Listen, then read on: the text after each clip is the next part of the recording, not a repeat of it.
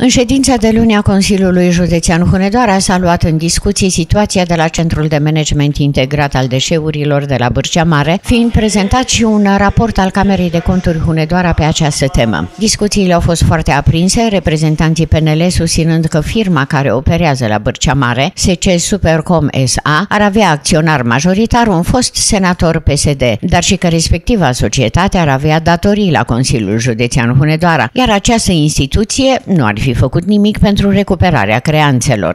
Dincolo de faptul că a fost senator PSD de Argeș, dar nu poți să, fii, să preiei infrastructură la cheie și să nu te gândești că ai și obligații față de cei care au angajat credit bugetar.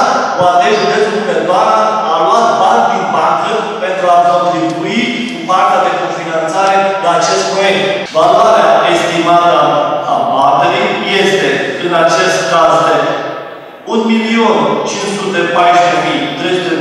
de lei, iar necasarea chiriei se ridică la 1.290.525 de lei, fără penalități. Cumulând cele două sume, constatăm un prejudiciu pe care îl evidențiază Camera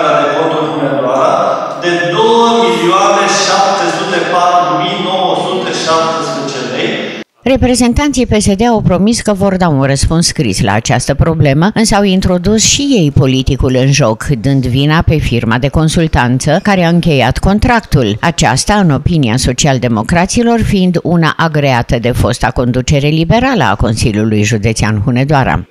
Vă voi da răspunsul scris, dar vă spune următorul lucru.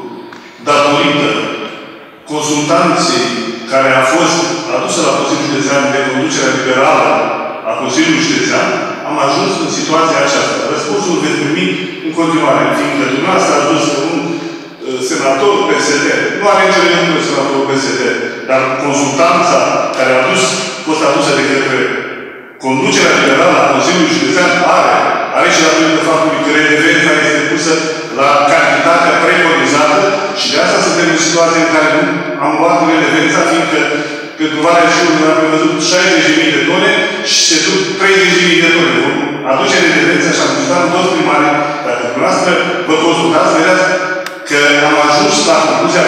primarii să facem așa fel ca relevența să fie luată la cantitatea care este depusă pe cele de rest, veți avea toate răspunsurile în scris. Mulțumesc!